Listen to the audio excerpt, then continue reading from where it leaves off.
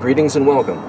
I'm glad you're here along for this adventure. I'm going to be restoring this 1973 Herreshoff America Cat boat. I'm going to give you a little bit of a background on this boat, its design history, and uh, why I wanted one so much. For the past several years, I'd been sailing a late 1970s Lightning, which I restored. It was in pretty rough shape when I got it, but did a lot of fiberglass work, painting, all of the woodwork, and a little bit of work on the rigging, and it's been a great boat. However, there are some problems with the Lightning, at least the way that I sail it. Lightnings are racing boats, and they're meant to be crewed by at least two or three people. I was trying to use it by myself as a cruising boat.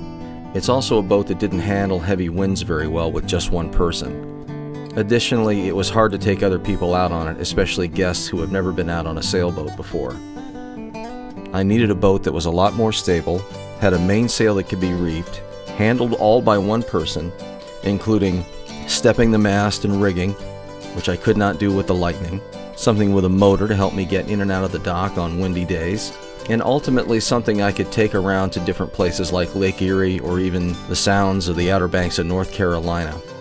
When I started sailing at the Indian Lake Yacht Club in Russells Point, Ohio, I saw two other members of our yacht club that had Herreshoff America Cat boats. As soon as I saw these boats, I immediately fell in love with the design. They were elegant and classic, maintaining all of the wonderful features of a New England catboat with the modern convenience of a fiberglass hull. The Herreshoff America has a gaff sail, which I've always loved, which can be reefed in higher winds and sailed by just one person. It is a wide, beamy, extremely stable boat with plenty of room in the cockpit for other guests to come along as the centerboard trunk is fitted farther forward into the cabin, leaving an open floor cockpit devoid of obstacles. The Herreshoff America also has the interesting feature of an engine well that fits an outboard motor inside the boat. That way an outboard engine doesn't stick out the back of the boat and get caught on rigging, and I think it also looks a lot better. Catboats have been a classic design around New England for over a hundred years. Aside from being a mainstay as a workboat in the area, they also became very popular with recreational sailing. The Herreshoff America catboat was designed by Halsey Herreshoff, who was the grandson of Nathaniel Herreshoff, who designed all of the famous America's Cup boats around the turn of the century. I got a tip that there was one for sale listed on the Catboat Association's website. I bought it, drove it down from Cleveland, Ohio to a location near me where I can work on it in my spare time.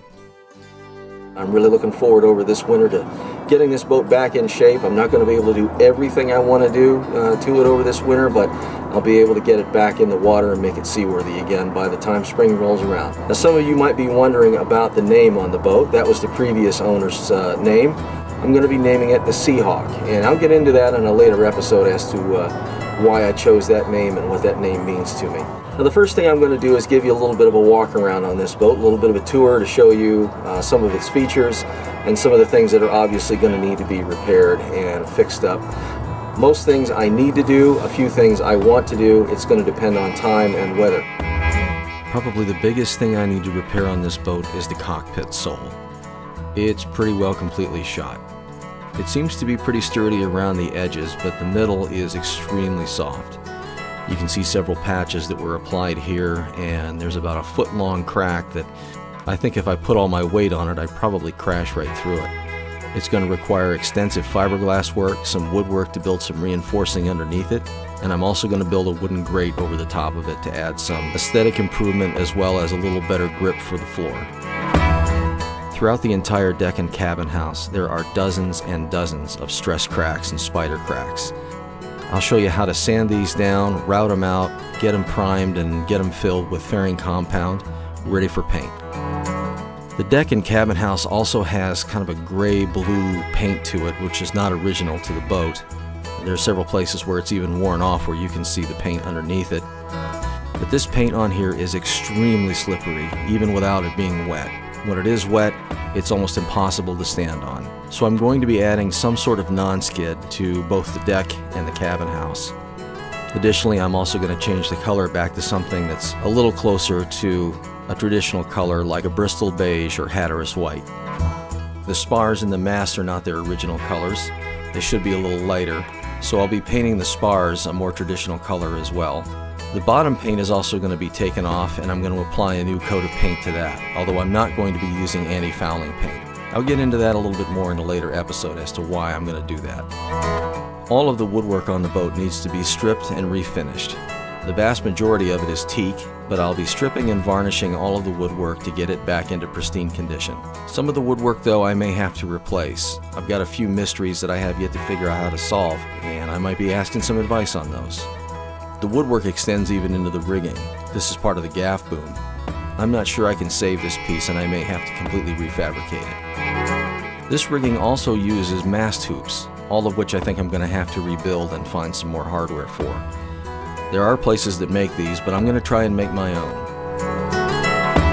I've decided to rewire the entire boat. It's very antiquated and there are far better solutions now like LED lighting, plus the wiring here is such a mess it's hard to figure out where anything goes. I'm also going to take off all of the deck hardware. That's both for painting as well as to refurbish and repair some of the deck hardware. I doubt these winches have had a maintenance overhaul in a long, long time.